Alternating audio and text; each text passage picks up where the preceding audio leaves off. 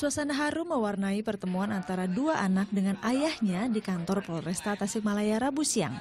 Keduanya berhasil ditemukan anggota Komisi Perlindungan Anak Indonesia Kabupaten Tasikmalaya dalam kondisi yang memprihatinkan di kawasan Pasar Ciawi. Keduanya pergi dari rumah beberapa hari lalu hanya karena kesal tidak dibolehkan bermain.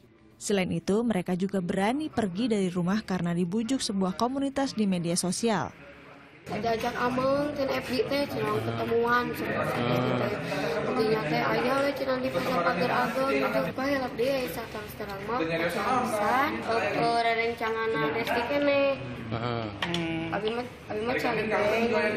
nah eta sungi abi teh nangis siapa cek yang daripada daripada bobo diri makanya dia mesti Komisi Perlindungan Anak Indonesia Kabupaten Tasikmalaya mensinyalir keenam anak perempuan tersebut jadi korban bujuk rayu komunitas pang di media sosial. Mereka diajak memberontak dari orang tua dan hidup di jalanan.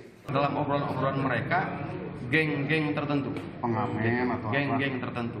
Dan memang biasanya kan kita selalu menemukan ketika mereka ada di jalan itu berkumpul di jalan tidak punya uang dia ngamen. Gitu. misalkan dia saya tanya orang tuanya juga tidak punya uang tidak pernah memberikan bekal gitu.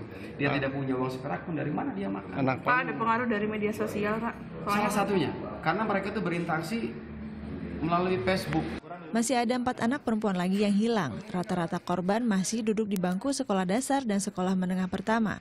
Budi Pardiana melaporkan untuk NET.